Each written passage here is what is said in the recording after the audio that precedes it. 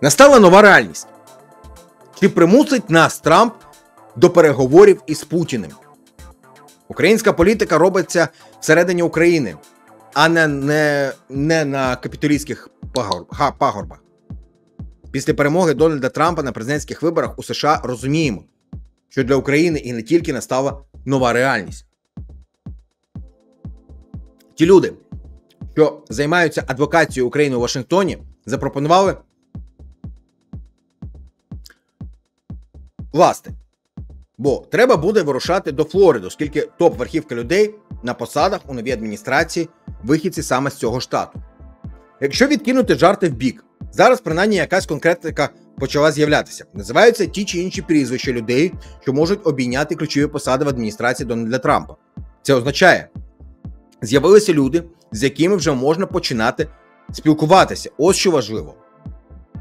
До вчорашнього, позавчорашнього дня комунікація з новою адміністрацією була ускладнена, бо всі, кому не ліньки, робили ті чи інші заяви. Українські медіа їх розносили з якимось панічним присмаком. Якийсь Едвайзер міг собі дозволити сказати, що Україна має забути про Крим, хоча жодними повноваженнями ця людина не наділена. А зараз, коли вже зрозумілі прізвища людей, що відповідатимуть за той чи інший напрямок, думаю, українська дипломатія, військово-політичне керівництво шукають канали комунікації, через кого заходити на спілкування з цими людьми. Звичайно, ми не можемо прогнозувати кожен крок е, того чи іншого американського політика, особливо коли йшлося про таке серйозне протистояння між республіканцями та демократами, яке ми спостерігаємо впродовж всього цього року, включно до виборів. Проте, з того, що я знаю, з майбутнім радником із нацбезпеки паном Майком Волсом можна і треба спілкуватися, зокрема через середовище військовослужбовців і ветеранів, серед яких він має величезну повагу, яких поважає сам. Є людина, яку я навіть можу порекомендувати українським переговорникам, через кого можна дуже добре налагодити комунікацію. Це губернатор одного зі штатів, колишній військовослужбовець, якого називають ледь не майбутнім президентом через 2-3 канденції десь. Дональд Трамп прийшов до влади з риторикою про мир. З приводу того, яким має бути цей мир, аби українці готові були його прийняти, боюся, що в нашому випадку немає якоїсь ідеальної історії. Бо те, як ми бачимо перемогу, і ті реалії, які є станом на сьогодні на полі бою та в геополітичних аспектах, це, на жаль, дві великі різниці. Тому поки що мені не зрозуміло, які важлі збирається вмикати нова адміністрація США. Розумію, що важлі впливу з їхнього боку на Україну є, можливо, трошки більше, ніж на Російську Федерацію, зважаючи, що велика кількість санкційних пакетів уже застосована. Навіть викручувати руки європейським партнерам теж треба мати міру. Бо зараз їм так доведеться трошки більше грошей витрачати на оборонку, ніж вони це робили до цього. І звичайно, найгірший для нас розвиток подій це погроза заморозити макрофінансову допомогу, зменшити обсяги постачання зброї до України. Це буде дуже погано. Проте, я також хочу, аби ми всі чітко розуміли, навіть спроба тиску на українську владу, як мені видається, не означає одразу автоматично, що українська влада виконувати ті буде виконувати ті чи інші умови забаганки чи ультиматуми.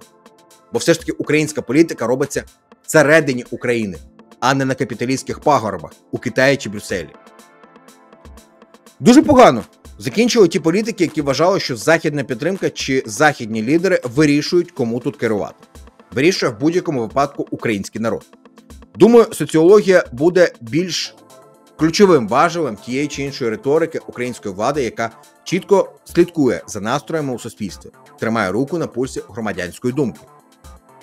І якщо влада відчує, що українське суспільство вже достатньою мірою втомлене, виснажене і готове до якихось перемовин, чи боронь Боже територіальних поступок, тоді українській владі буде набагато простіше про це комунікувати.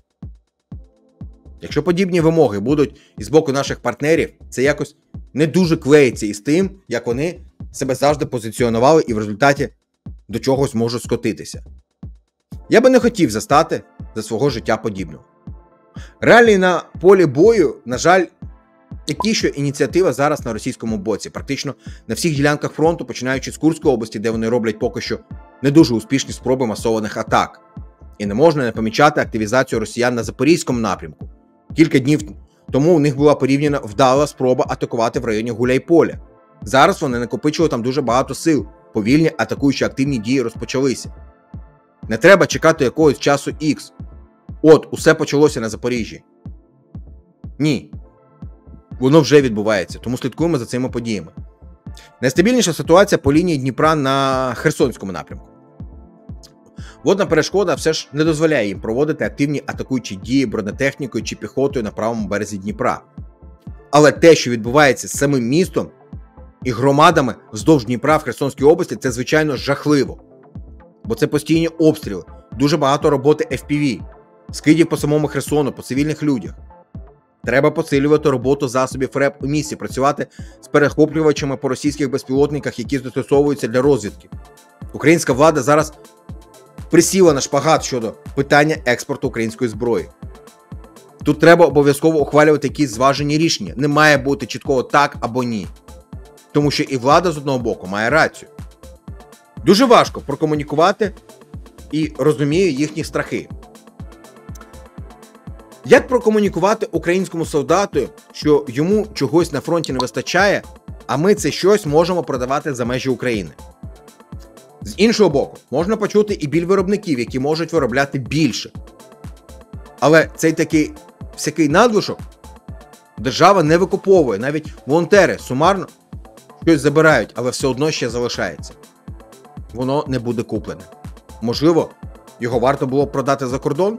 Іноземні інвестори, які консультуються щодо тих чи інших новинок в українському мілтеху, приглядаються до українських якихось розробок, стартапів, приходять за консультаціями. Ми багато чуємо їхню позицію. Умовний якихось там данський інвестор, який готовий залити десятки мільйонів євро в український мілтех. Вагається, бо поки що Україна говорить йому: добре, вкладай гроші в українську оборонку. Але пам'ятай, в тебе ринок збуту одна країна Україна. Звичайно, весь світ як ринок збуту підприємцям і бізнесменам, інвесторам набагато цікавіший, ніж одна Україна. Тому це є певною перепоною для інвестицій в Україну з-за кордону. Якщо це питання зважено не вирішити, вангую, що частина українських виробників просто перебереться зі своїм виробництвом і технологіями за межі України. Як ми спостерігали цей процес у 22-му і частково навіть у 23-му році, поки держава не прийняла мудре рішення щодо підняття маржі для українських виробників. Коли на твою продукцію стояла маржа 3%, ти не був захищений ні від інфляційних процесів, ні від ризиків валютних коливань. Підняло до 25%. Підприємці стало простіше працювати на державні замовлення, не переймаючись, що ти ще доплачуватимеш щось зі своєї кишені. Тому мені здається, варто було би зробити аудит потреб українського війська, спроможності нашої оборонки за тією номенклатурою, що не є критичною для українського військовослужбовця на передовій, можна було би трошечки краника відкрутити, аби українські виробники могли експортувати ті чи інші види технології озброєння чи дронів.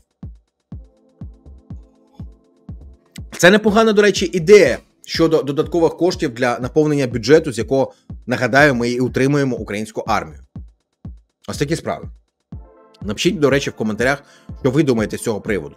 Не забудьте поставити вподобайку цьому відео і підписатися на канал, якщо ви ще не підписані.